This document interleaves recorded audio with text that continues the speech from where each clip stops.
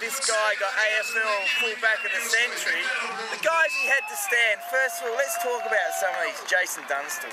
Yeah, well, he's a superstar. Yeah. Um, you know, one of the great players of all time. And, uh, really, really strong player. Really quick on the lead. Very unselfish. So, um, yeah, he was a super player for the Hawks.